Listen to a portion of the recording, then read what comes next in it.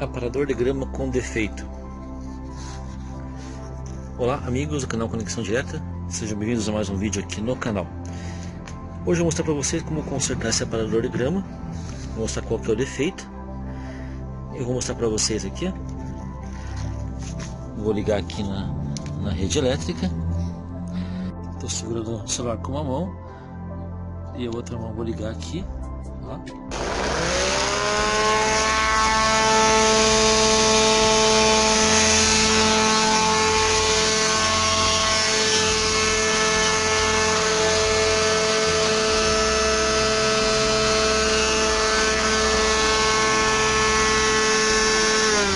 Vocês viram pessoal?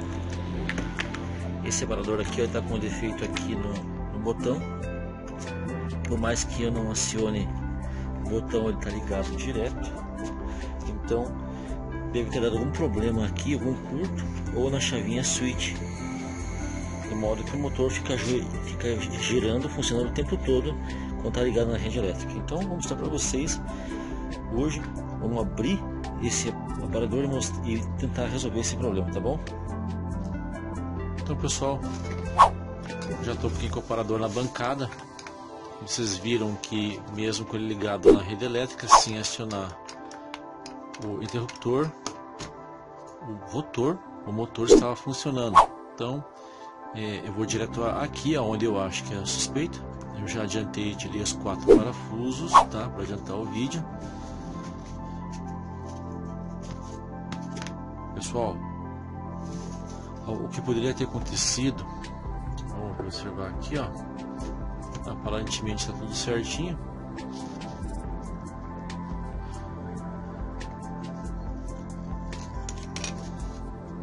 Pessoal, olha o que pode ser. Nessa chavinha aqui, ó, costuma dar muito problema, tá? Ó, esse clique aqui, ó, quando ele aperta, quando eu aperto o gatilho aqui, ele pressiona esse botãozinho que aciona o aparador. Então o que, que a gente faz quando ativa problemas? Troca essa peça aqui, gente não tem como, como fazer de outra forma, tá? Aí você tem que comprar uma outra para substituir. Eu comprei um outro aqui, ó e ele é para 25 ampere. Esse outro aqui é 15 ampere mas aguenta tranquilamente.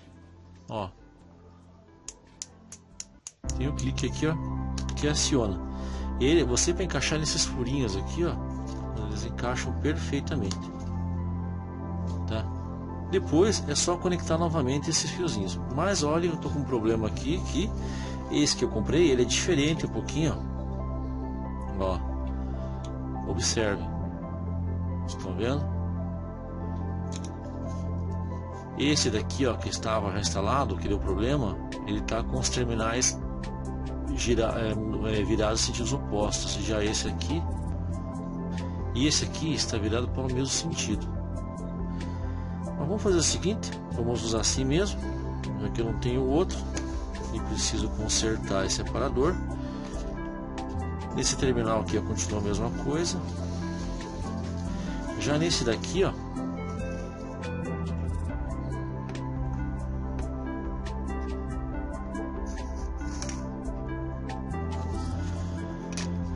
Nesse aqui eu vou ter que emendar um fio. O que eu vou fazer? Eu vou cortar uma parte aqui e vou emendar um fio para conectar aqui.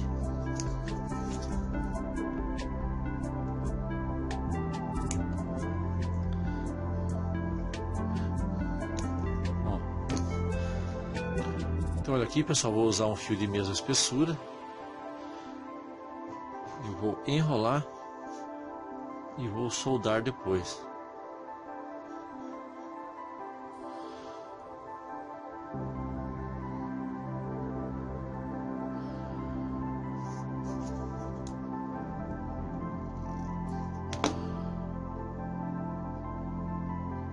Pronto, pessoal, já está soldado. O que eu vou fazer? Eu vou agora desencapar um pouquinho desse fio azul aqui, ó, para poder trabalhar com ele.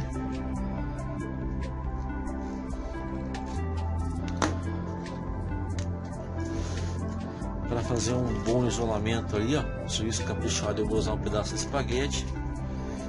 Então aqui, pessoal, olha, vou dar uma enroladinha para garantir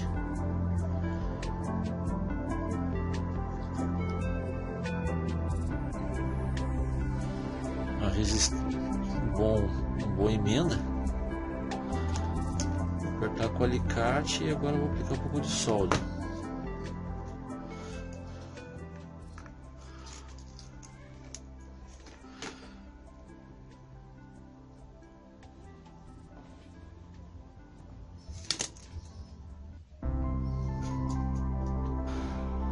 Metade do espaguete. Vai ficar aqui com a ajuda do próprio ferro de solda.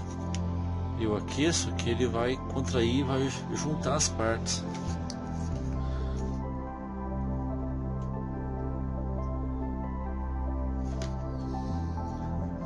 Está pronta aqui a emenda.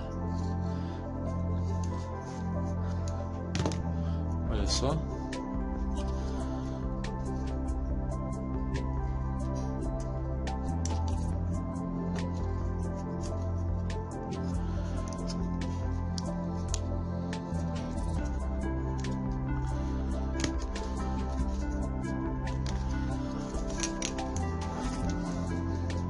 olha aqui, pessoal. Tá? Foi só esse empecilho aqui, ó. De ter esse terminal virado, virado para cá e não para cá como no original, tá? Agora que esse aqui tranquilo vai durar muito tempo o aparador. Agora é só fechar ele. E pronto, pessoal. Vamos agora para o teste. Mas antes, se inscreva no canal Conexão Direta ative as notificações, deixa um like e comenta essa videoaula, tá bom? Então pessoal, tá aqui o operador, já tá ligado aqui na, na rede elétrica, é uma extensão que eu tenho e vou acionar a chavinha. Só um toquezinho, ó.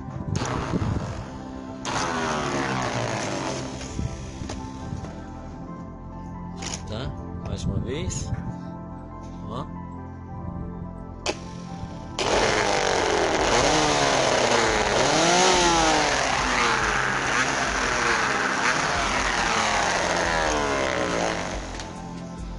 Isso, pessoal.